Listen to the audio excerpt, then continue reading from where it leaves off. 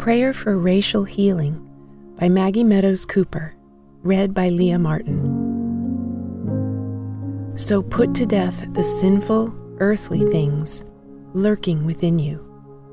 Colossians 3 5. Lurking. When you hear that word, what does it make you think of? A shadowy form hiding in a dark alley? A sinister plot just waiting to be revealed? That's what comes to my mind. Merriam Webster defines lurking as being concealed but capable of being discovered. Another definition says remaining hidden so as to wait in ambush, present in a barely discernible state, although still presenting a threat. But in Colossians 3 5, Paul uses this word to remind us of the sinful earthly things in each of us. The truth is that we all have sin hiding away.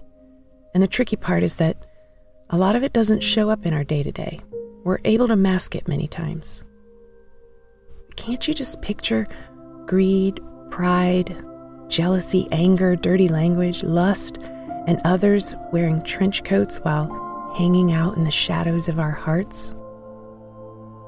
Satan is crafty, and he knows just how to trigger these things in us so that they make a grand entrance, reminding us of our own depravity.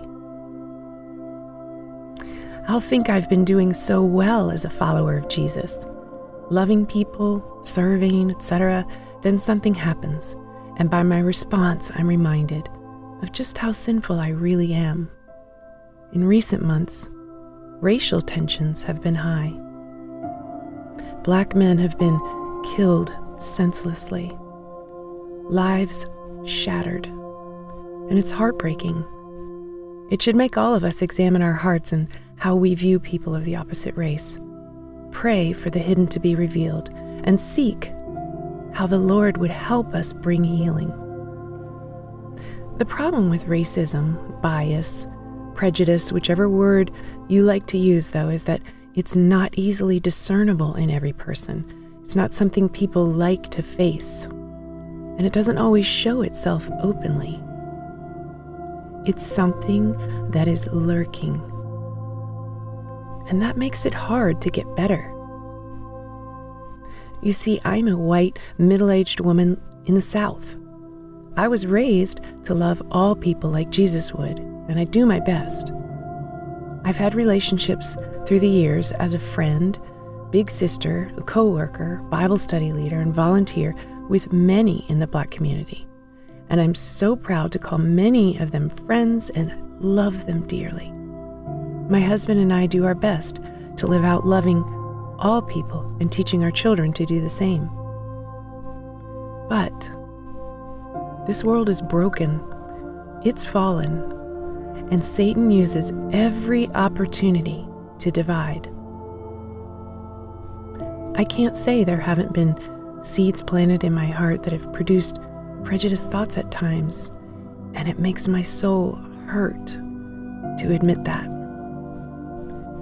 My precious friends, the only hope for healing is for all of us, on both sides, to pull these feelings out of the shadows and face them to pray for eyes to see each other as Jesus does, to communicate with each other, to stand up and speak out when needed, and to expose these biases for what they are well crafted lies created to divide us for centuries.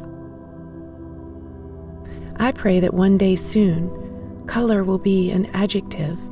Until then, may we all do our best to live out 1 Samuel 16:7.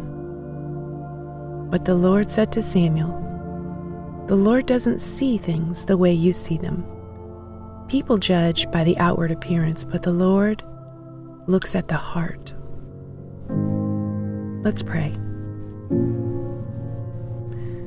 Dear Jesus, we come to you broken.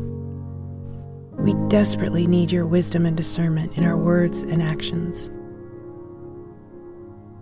Oh, Jesus, help us be courageous enough to face our own fears, prejudices, and misconceptions. Forgive us of these specific sins against our black brothers and sisters.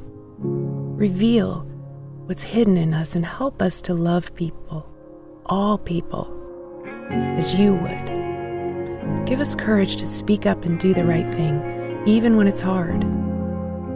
Give us ears to hear and eyes to see as you do, Lord. Help us to be a light in this dark world and bring unity, healing, and forgiveness to our communities. In the mighty name of Jesus. Amen.